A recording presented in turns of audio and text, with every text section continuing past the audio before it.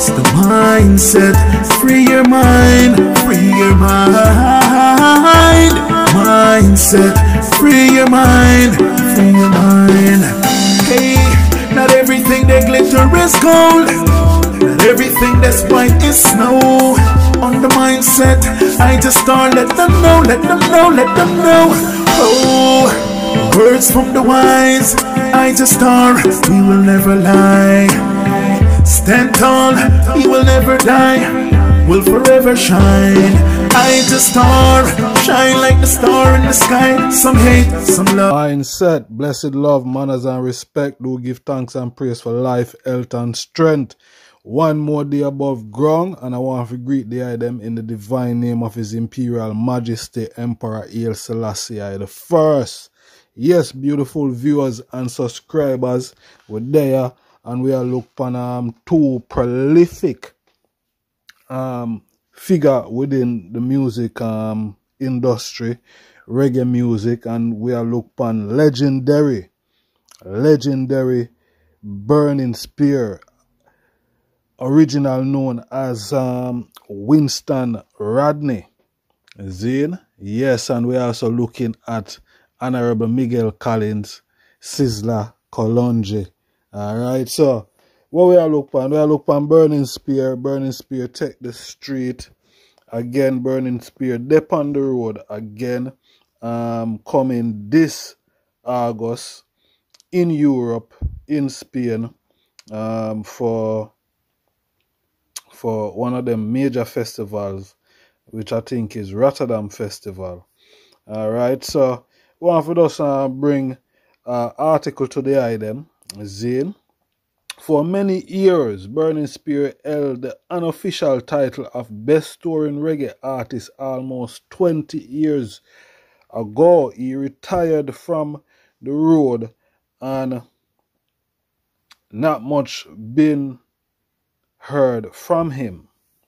Two weeks ago, it was announced that the legendary singer songwriter will make a comeback at the Rotterdam Festival in Spain. Rotterdam Sunsplash in Spain, August.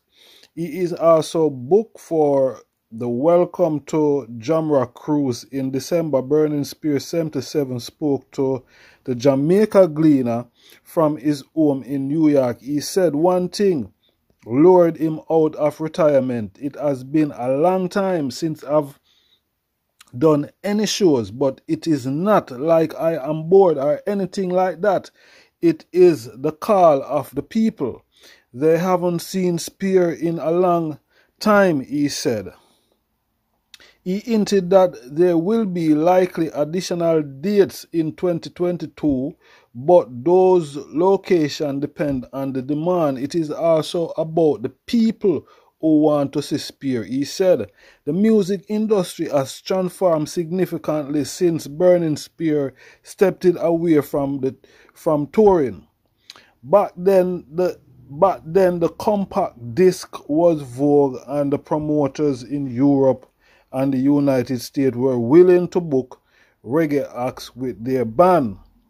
Streaming platforms such as Spotify and SoundCloud are now the source of the music for generation Y reggae tours even um, before COVID 19 had scaled down considerably considerably due to the rise in um, production costs. So what I must say, um, a lot of the shows them have been scaled down before COVID-19. With a catalogue laden with classic songs like Swell Headed, Marcus Garvey, Traditional, Burning Spear, is not concerned about his music reaching new fans. A new generation of fans will always know my music, just like Bob Marley music is for different generation. That the way our music is, he, he stated. His latest uh, studio album, Jah Is Real, was released in 2008. It gave him a second Grammy Award for Best Reggae Album since the mid 1970s when he broke through with the powerful Marcus Garvey album. Burning Spear established himself as a formidable touring act. His legendary streak sometime last six months. Europe was his happy hunting ground. He also has a considerable considerable following in the United States and Japan. Spear has performed intermediately in Jamaica, but say he has not been home in five years. He maintained ties to the country through his charity, which donate money and ass- assorted time items to an infirmary and infant school in the native St. Ann's Bay as well as a place of need in St. Mary. All through his recording career, uh, started in the late 60s. A Studio One Burning, a Studio One Burning Spear is um, synonymous with the seminal Burn Marcus Garvey album produced by Lawrence Jack Ruby Lindo. His, con- his conviction to the Pan African icon and Jamaican First National era is unyielding. Re- recently, the Jamaican government announced plans to lobby the administration of the US, US President Joe Biden to exonerate Marcus Garvey as a mail fraud, which resulted in a two year federal prison sentence during the 1920s. As Jamaica celebrate, celebrate the 60th anniversary of independence, Burning Spear insists the government need to do more to educate the country youth about Garvey, who was also a St. Ann's native. There need to be a subject on Garvey from the basic school up them still talking about Christopher Columbus. It's time for Jamaican people to speak on these things, he said. And that is the end of the article. And um, I think um, Burning Spear have a strong point there. You know, we need to be talking more about Marcus Garvey from basic school up to university level.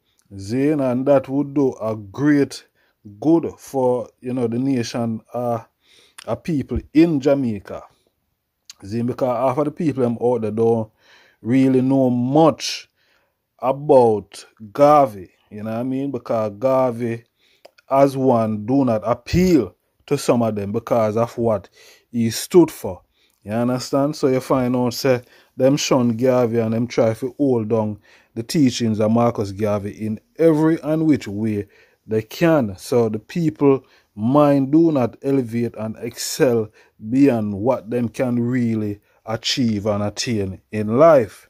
You know what I mean? So that is where we at with Burning Spear. We know um, I think last year, you know, Burning Spear, we see him come out and him take the joke and all these things. And a lot of people was disappointed with um, the legendary reggae artist. I for one um, you know, we love Burning Spear music, you know what I mean, and you know, we love him as a brother too, but at the same time, you know, everyone have, you know, them choice.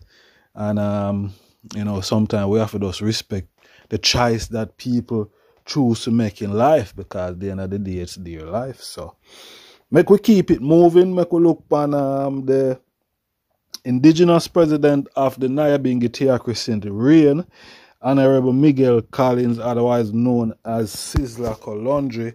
And we just go through Sizzla um, Instagram for you know the last couple of days and you know some quiet quite interesting posts, you know, with captions like social worker need their money, Africans rise up now. We are not slave Love what you do. You are an African. The change start with you. We are young, but we are blessed. That is one of um, the posts that we see came out from um, Sizzla Kalonji. Another one that is quite interested also. Zane is educate and feed your people by any means. Stand at the gate and judge in righteousness and peace. Ethiopia, Africa, we are coming home. Repatriation and reparation. Now return all what you have stolen from Ethiopia, Africa.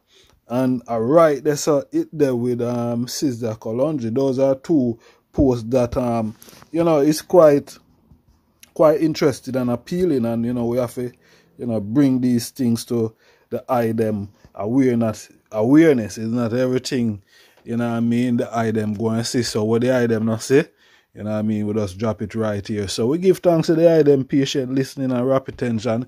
We're keeping it moving. And um till we see the item on the rebound. Well Emmanuel I, Selassie I, Jah, Rastafari. I just star. Mindset. Cut and clear. Smash that subscribe button. See you on the next video. I just start the mindset.